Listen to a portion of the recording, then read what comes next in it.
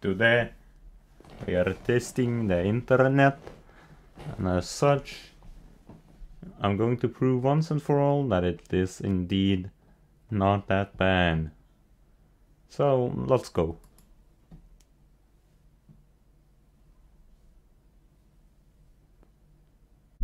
Fuck.